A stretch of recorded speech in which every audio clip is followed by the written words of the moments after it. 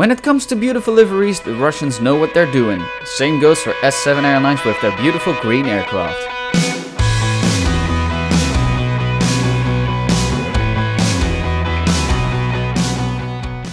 Hi there, Spectre here and welcome back to Aircraft Model Reviews and today we are taking a look at a beautiful green Embraer E170 from S7 Airlines which came in here at Review Airport from St. Petersburg to which we'll also return to after its turnaround.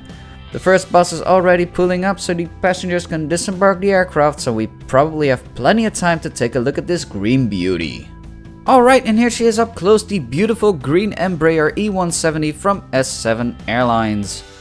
And when we start at the front we can see that the cockpit windows are very decently detailed and we have the window wipers included.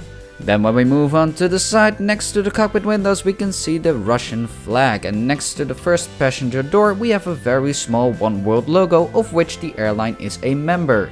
Then underneath the passenger windows we can see the writing of S7 Airlines. Then when we move on to the engines we can see they've been given the same two-tone green as most of the fuselage and when we take a look at the front of the engine we can see the nice silver leading edge and when we look into them we can see the engine fan blades. Then when we move on to the backside of the engines we can see it is very decently detailed and we can also see the nicely made main landing gear. One note about this main landing gear though, it's very fragile with the Embraer models from Herpa, which is a little bit of a shame, so you do need to be very careful with the Embraer models. Then when we move on to the wings, or more specifically the top side of the wings, we can see the different flaps, slats, spoilers and ailerons carved out, but unfortunately no further details here for the top side.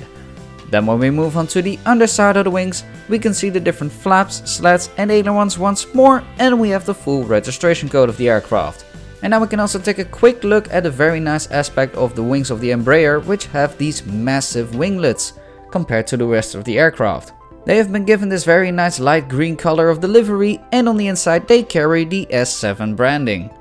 Then when we move on to the backside of the aircraft on the vertical stabilizer we can see the S7 branding and on the fuselage we have the full registration code of the aircraft once again.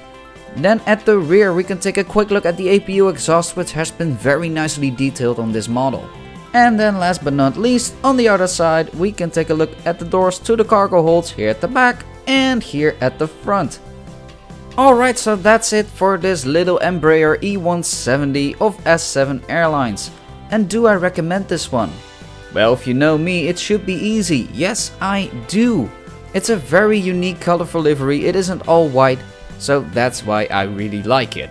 And it should still be easy to get as this one is still in stores today, so if you want it and want to get it, just go to your local store. It should be there.